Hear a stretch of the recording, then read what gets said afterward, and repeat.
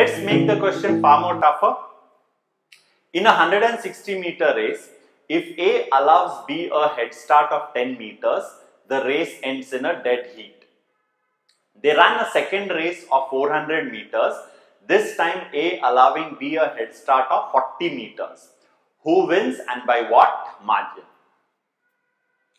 So, uh, there is a head start involved. So, let's understand what that means. So, we are saying A allows B a head start of 10 meters. So, at the starting point, so A will be at the starting point itself. He begins from the uh, initial, but B is allowing him a head start. So, he'll allow B, you go ahead, you stand a little ahead and this head start is given in this question in terms of distance 10 meters right so it's very easy to understand that he uh, the, the the race has not begun as yet. The pistol has not fired as yet. He says b you go ahead and stand. And both of them are taking their positions on their marks at this position.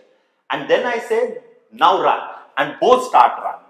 Right? So what i mean want to say is that i would still look at this situation as both starting simultaneously in terms of time. They start at the same time. However, they start from two distinct points, right? The second thing the, that we are talking about here is the race is of 160 meters and it ends in a dead heat. It ends in a dead heat means A is going to run the full distance. He reaches 160 at the finishing point and B also reaches the finishing point simultaneously. That is the meaning of dead heat. They reach the end point simultaneously.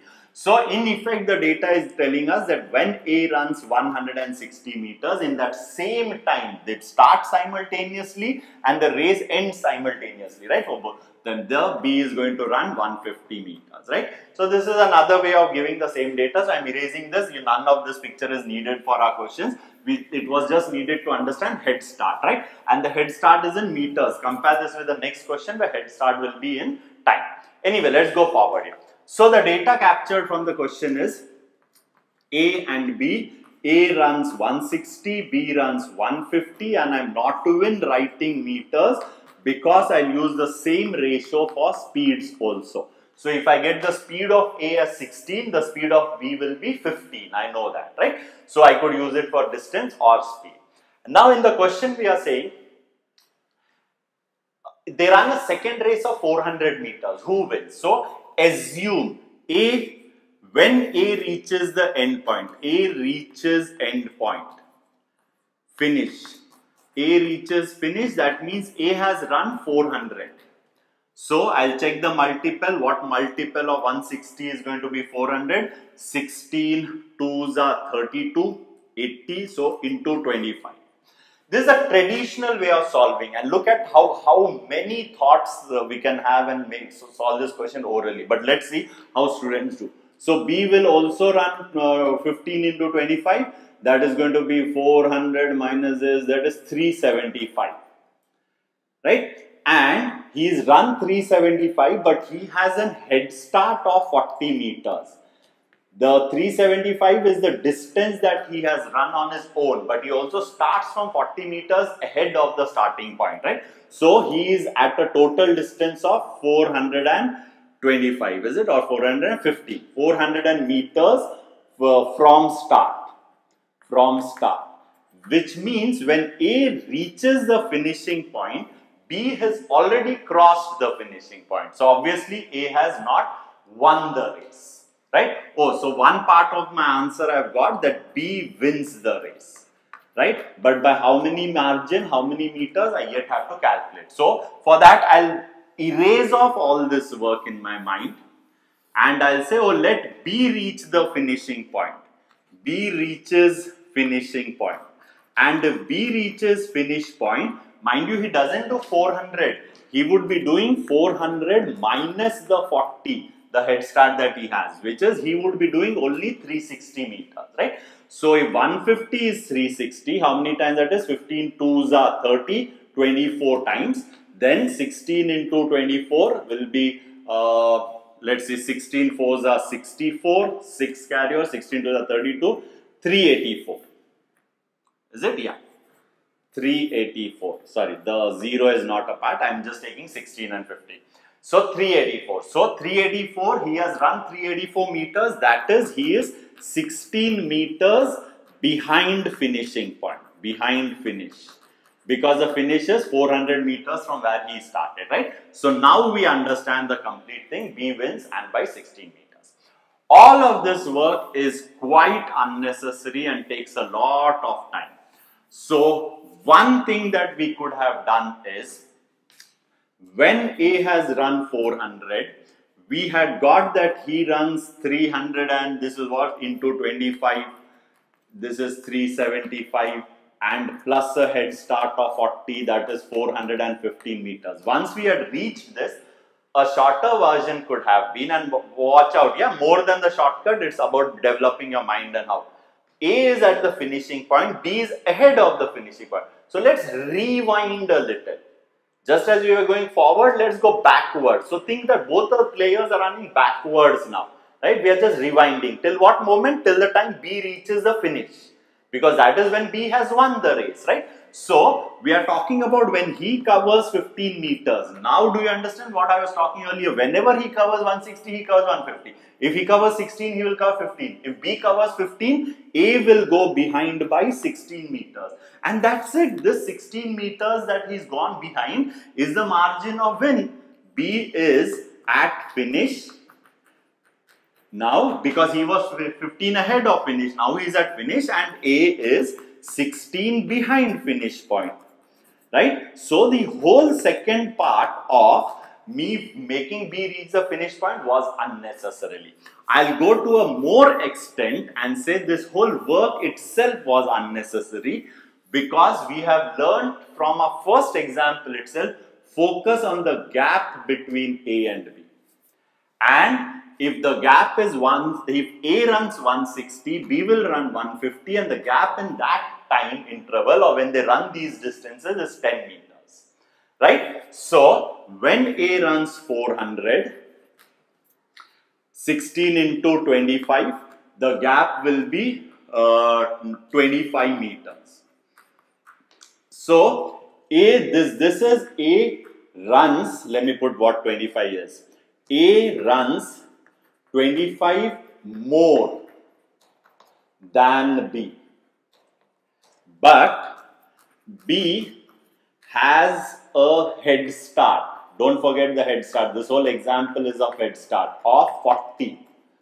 Therefore, the two of them together, so at beginning B is 40 ahead and in the in the race A has run 25 more than B. A has caught on 25. Suggests that still B is ahead but ahead of how many? Ahead by 15 meters. Right? So if B is ahead by 15 meters, the same process comes. Let's rewind it.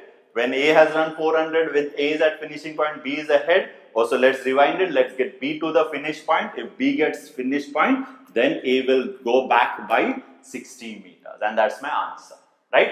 So I need not have done any of those uh, individual distances. I could just work on the gap and it definitely pays off, right? So uh, another proportionality, just, just to drive in proportionality, another thing B winning was very apparent here. Why? Because in 160 meters, in a race of 160 meters, so we have a race of 160 meters, a 10 meter head start. Head start results in dead heat. That is both reach at the same time. Right? So, a 40 meter head streak or, or let's say whichever way you want in 400 meters. 400 meters could I say is uh, two and a half times. Right? That is a 25 times 16 into 25 two and a half times. So a 25 meter head start would have resulted in a dead heat, but the actual head start is 40 meters. So B has a very large advantage over A, right? Because of the 40 meter head start. Or else a 40 meter head start, four times the head start means the race should have been 640 meters for A to catch up with B. But the race is only 400 meters. So A is not going to catch up with B because so B winning is apparent out over there, right? And this is the best way. So let's wind it with one last example of head start in time. A and B can run at speeds of 25 meter per second and 24 meter per second. They run a race with A allowing B a head start of 6 seconds. What should be the length of the race so that it ends in a dead heat? We, have we know the meaning of dead heat that is both should reach simultaneously. So let's understand now uh, that uh, what does a head start of 6 seconds mean. A head start of 6 seconds means that at the start both the individuals A who is fast as well as B who is slow both of them are at the same starting point right and I say run and it is B who starts running. A doesn't run, so the race has started, but then B has started covering a distance. And from where is he covering a distance? He is covering a distance from start. So he comes, and after 6 seconds are over, post 6 seconds, post 6 seconds, then A also begins his race right? So A and B both start from the same point is the emphasis that I'm making here. It's just that A starts after 6 seconds. So if B takes, if I freeze the frame after some time, if I freeze at a particular point of time, then if B has taken T time, a time of T uh, seconds or so on, A would have taken T minus 6 seconds till then. Why? Because he has begun running after 6 seconds, right? Hope you have got the idea out of it. So head start or 6. In this question, the race is supposed to end in a dead heat. So both of them reach the finishing point simultaneously, right? So the 6 seconds ends up being the difference in the time taken. So one way to solve this question is, oh, the distance is asked, the length of the race is asked. I'm given the speeds 24 and 25 meters per second and the 6 is the difference in time right? So if, if uh, one way could be the equation way where we say distance or who takes more time, B will take more time. So B, distance by uh, speed of B, the time taken by A, uh, distance by speed and the difference is 6. You can obviously go ahead and solve this. You will have to multiply by 24 and 25, uh, the LCM of 24, 25 which is 24 into 25. However, we are falling back to equation way right? And we have spent a long enough time for us to realize if both of them start from the same point, they start from same point and they end at same point, end at same point. So, in this situation, what I am saying is distance is constant. Distance is constant and the time is different time is different, right? There is a difference of uh, 6 seconds, right? And if distance is constant, I know speed and time are inversely proportional. So I'll think about speed and time. Oh, I know the ratio of the speeds. The ratio of speeds is 25 is to 24. So the ratio of time will be 24 is to 25 and I know there's a difference of a difference, a difference of 1. Uh, in the ratio it's 1 but I know in the actual world it's a difference of 6 seconds. So I'll multiply all the values by 6. 6 into 24 that is 144 seconds and uh, 150 seconds. So B will take 150 seconds. A since he has started 6 seconds later will take 144 seconds to reach the finishing point. I want distance. Distance is speed into time. So I need to do justice 25 meters per second into 144 or 24 meters per second into 150. Both of them should boil down to the same distance because distance is constant. Let's just see that. If I multiply by 25, it's as good as divide by 4 and add two zeros. So 4 3s are 12 and uh, let me write it out over here. Uh, 4 3s are 12, 36 with 2 zeros, both of them. Does this also boil down to the same thing? Let's see. 15 into 20 is 360. So both of same, the answer is 3600 meters. So a head start of time, you could look at both starting from the same point, ending if it's a, uh, yeah, ending at the finishing, so they are taking the same. One might change this to a head start in terms of uh,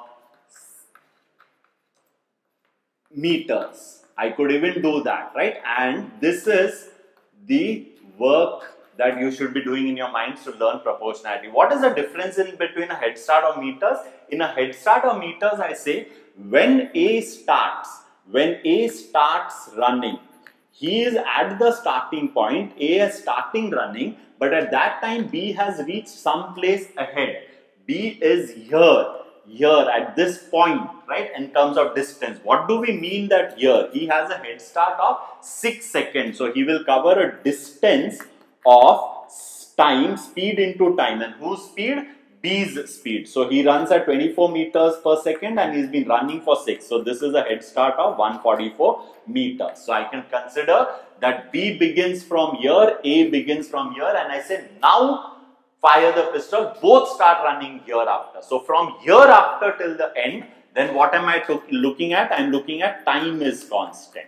Time is constant hereafter, right? And if time is constant, distance and speeds are uh, directly proportional. I know the ratio of speeds. So let's take A and B. So speeds or distances or distance will be in the ratio 25 is to 24. And what do I know? This 144 is the difference in the distance. Now time is same, the distance run is different. Oh, so this difference of 1 corresponds to 144 meters right? So what is the actual distance? The distance is multiply all of these by 144, 25 into 144, which is what we had done out over here, 25 into 144, multiplying by 24, just divide by 4, that is 3600.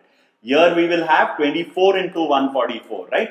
Which is 144 less. So if you do the multiplication, it's going to become 3456, right? So which one is the race, uh, race length? Remember B has run some distance from this point onwards. This is the original start. A has run a distance of 3600. B has run a distance of 3456 from here. So the race length is that of 3600, right? There are many questions on races, right?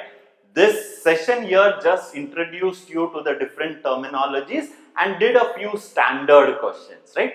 Uh, rest is dependent upon your practice, how well you do them and how many questions you can cover up, right? So try, try doing questions on races after this.